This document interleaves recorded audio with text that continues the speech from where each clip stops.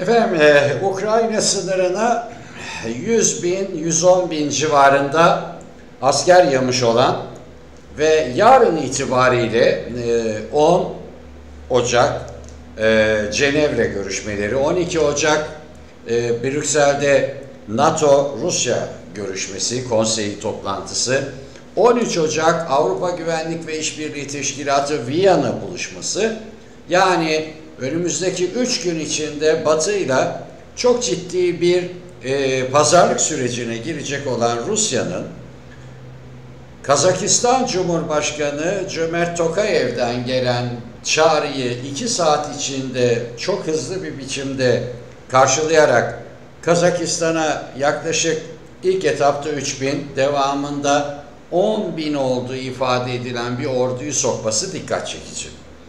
Esasında yaşanılan bütün olayları e, çok doğal olarak hepimiz e, 12 Kasım 2021 gün 21 21 günü İstanbul'da oluşturulmuş olan e, Türk Devletleri Teşkilatı'nın bakış açısından değerlendirdik. Bu çok doğal.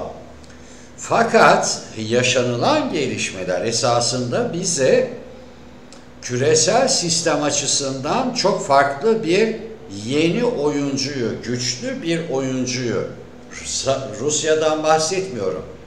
Ortodoks kilisesine bağlı onun tarafından şekillendirilmiş Rus milliyetçi hareketinin e, yeni dönemde belirleyici bir kimlikle ortaya çıkacağını gösteriyor.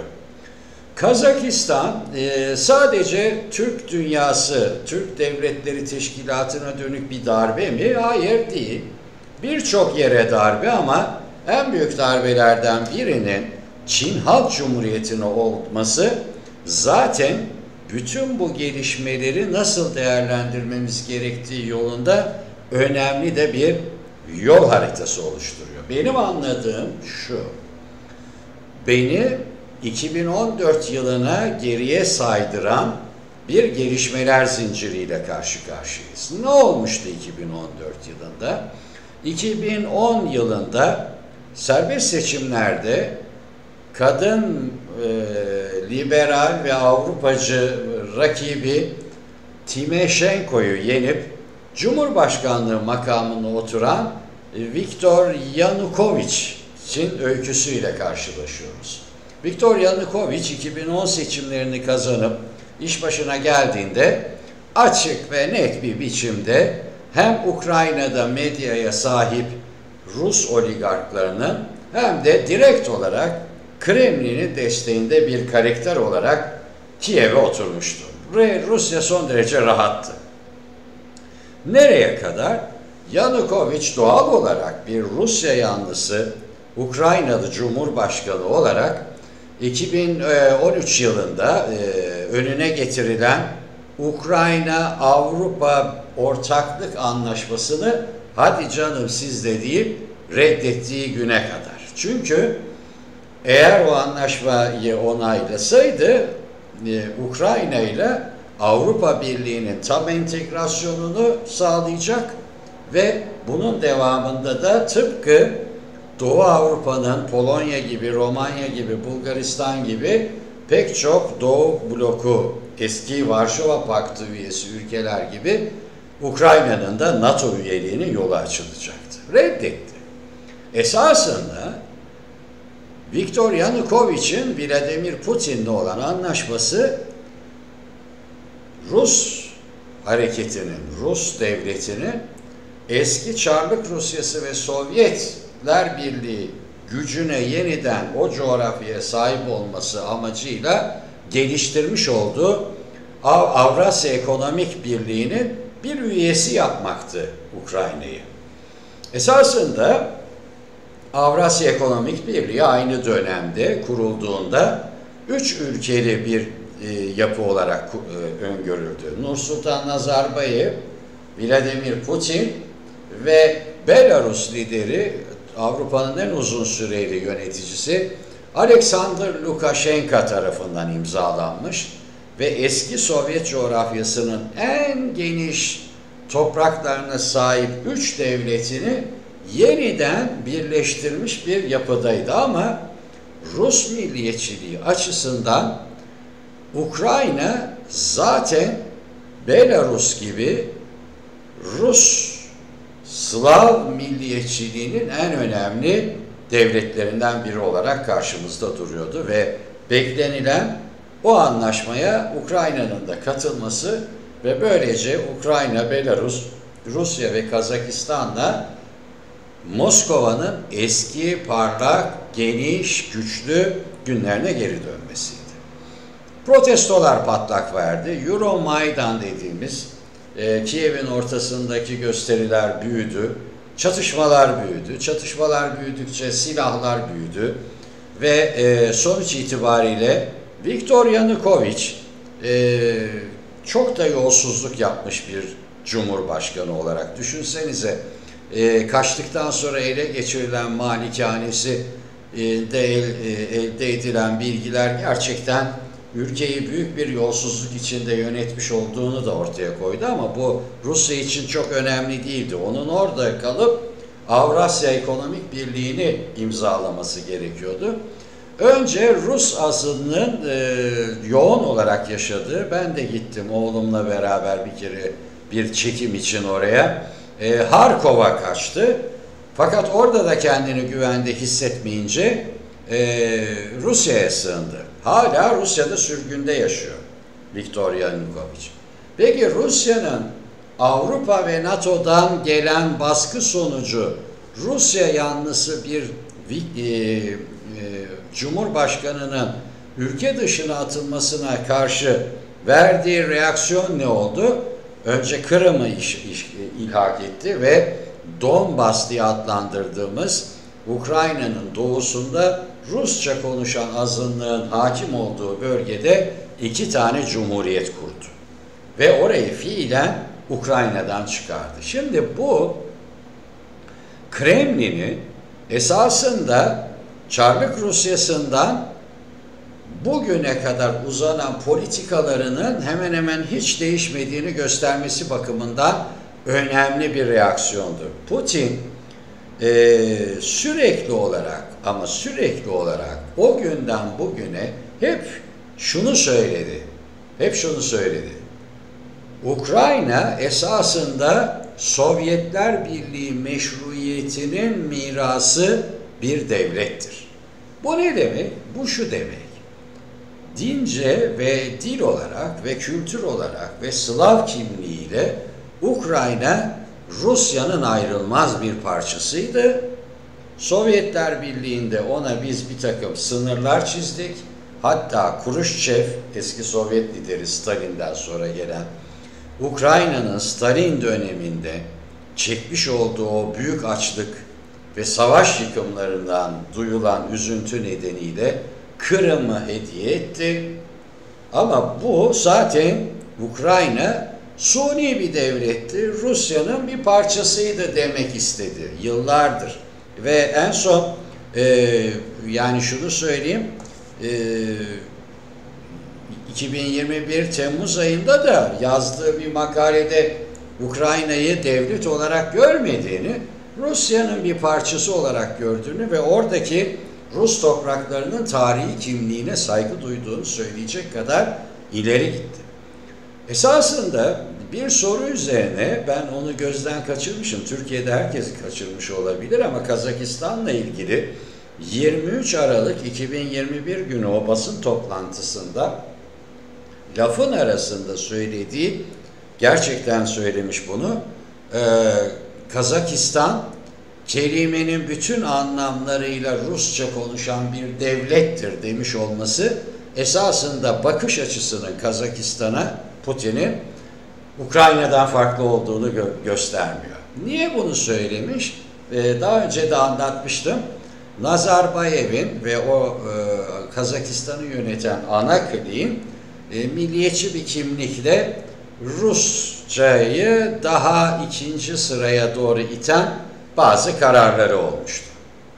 Ama bence gerek Tokayev'in, Cömert Tokayev'in o gece yani 6 Ocak günü e, olaylar olağanüstü büyüdüğünde Almata'da büyük bir yangına dönüştüğünde e, Paşinyan'ı arayarak e, Ortak Güvenlik Anlaşması Teşkilatı'ndan destek istemesi, iki saat içinde de Rus paraşütçü komandolarının Almata'ya inmesi esasında 2014 yılında yaşanılmış olan Yanukovic olayının tekrarını önlemek amaçlıydı. Çünkü anladığımız kadarıyla bütün Rus medyası ve açıklamalarında Kremlin'in o süreçte yani ikisi ile altısı arasındaki Ocak'ta e, yaşanılan bütün bu olayları aynı Ukrayna'daki Rus yanlısı devlet başkanının kaçışı öncesi yaşanılan olaylarla birebir aynı gördüğünü ve bunu Amerika Birleşik Devletleri veya bir dış gücü e, bir kez daha Rusya'nın hakim olmak istediği bir coğrafyada renkli devrim gibi adlandırılabilecek bir devrime yönelttiğini algıladığını gösteriyor. Şimdi tabi bu algılama Kazakistan'ın kaderini belirledi. Çünkü Kazakistan artık bugün itibariyle 12 Aralık 2021 günü İstanbul'a gelmiş olan Kazakistan değil. Ve bir daha büyük bir olasılıkla öyle bir Kazakistan olmayacak. Çünkü daha şimdiden daha şimdiden e, birçok açıklamada Kazakistan'ın Belarus'la e, Rusya arasında imzalanmış olan ve giderek iki devleti ordularıyla, finansmanıyla, Merkez Bankası'yla vesairesiyle bir devlete dönüştürme gayreti içinde olan bir sürece Kazakistan'ın da katılması yönünde çok sayıda yorum almaya başladık. Esasında e, Cömert Tokayev'in e, dış güçler formülasyonu sadece e, o teşkilatın askerlerini o teşkilatın askerlerini Kazak topraklarına indirmesinden de öte bu tür bir Ukrayna krizinin tekrarlanacağının alarmını verme amaçlı da olduğu görünüyor. Çünkü 2020 yılında yine Amerika Birleşik Devletleri tarafından ve Batı tarafından desteklenen çok büyük protestolarla karşılaşan Belarus diktatörü e, Alexander Lukashenko da aynı yöntemlerle Rusya'yı yardıma çağırmış ve Rus KGB'si orada ordu olarak değil, Rus istihbaratı ve Rus e, uzmanlar Lukashenko ile beraber göstericileri elemine etme ve ülkede kendilerine göre bir e, istikrar sağlama yönünde birlikte çalışmışlardı. Şimdi gördüğümüz manzaranın devamını da söyleyeyim size. Ee, Rusya'nın e, bir NATO Rusya savaşına yol açabilecek ve insanlığı belki de bir nükleer hesaplaşmayla karşılaştırabilecek e, dev bir atak yapacağı yönündeki beklentilerin zayıf olduğu bir dönemden geçiyoruz. Ama yükselen beklenti Kazakistan'a asker indirdiği gibi e, Ukrayna'nın da e, doğusunu tıpkı Kırım gibi ilhak edecek bir beyin kimyası taşıdığı yönünde. Bütün bu gelişmeler sadece Avrupa'yı mı ilgilendiriyor? Sadece Türk dünyasını mı ilgilendiriyor? Hayır. Bütün bu gelişmelerin sonucunda bir de darbe yiyen bir dev ülke var.